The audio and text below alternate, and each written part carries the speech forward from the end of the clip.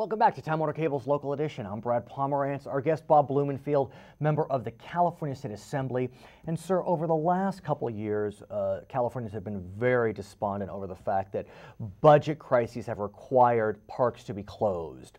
But then we learned that there was $54 million found, and that was more than enough to keep parks open, but it caused a tremendous amount of consternation. That being said, there's a bill that has been uh, pushed through that's going to change that calculation. Talk to us. Yeah, well, I, I authored this bill, um, uh, AB 1478, specifically to deal with sort of the, the, the park issue, to create a two-year moratorium on park closures, uh, and to take some of this, this which, what you're calling found money, which was money that was really hidden by some uh, park officials who have been right. fired um, because they, they weren't supposed to. They weren't spending it on anything nefarious, but they, they weren't accounting for it. Of course.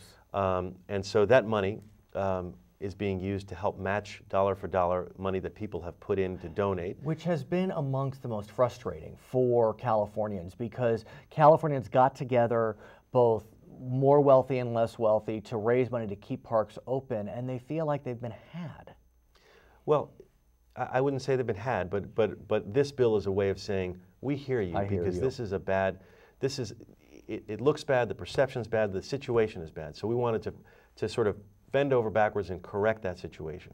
You know, even though in terms of money, I mean, the park, the maintenance deferral is $3 billion. Right. We're talking about $54 million that have been hidden and ultimately the 20 million that can keep that can keep the parks moving. Mm -hmm. So when you look at the scale, it's very different. It's not like this this found money is going to solve our parks problem or our budget problem by any means. It's a it's a drop in the bucket. But perception-wise and reality-wise and the importance of the parks, particularly my parks, Los Encinos, Santa Susana, right. the others, we wanted to make sure they stayed open. At the same time, I know it was important to get that matter behind you because as we speak, the governor is pushing a tax initiative, Proposition 30, which as of late seems to be slipping a bit in the polls. It's still above 50%, but the cigarette tax was above 50% in June and that didn't pass.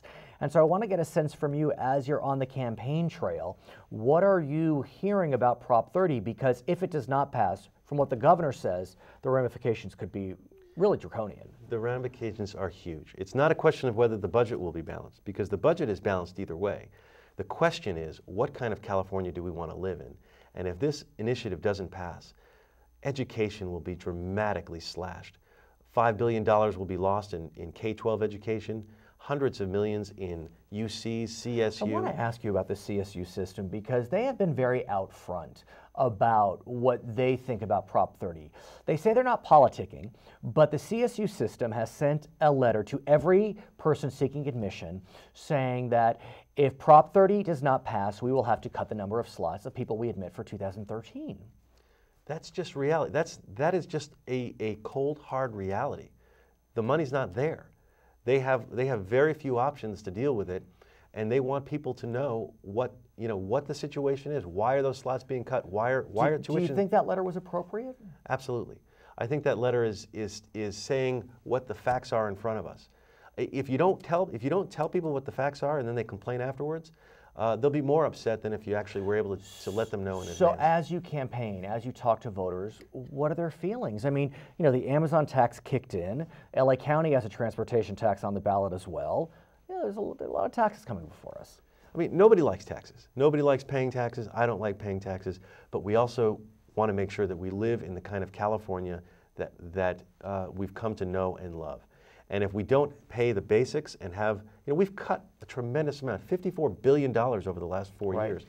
Um, and we're feeling it. Okay. Um, His you. name is Bob Blumenfield. He's a member of the California State right. Assembly. I'm Brad Palmer. Thanks for watching Time Warner Cable's Local Edition. All right.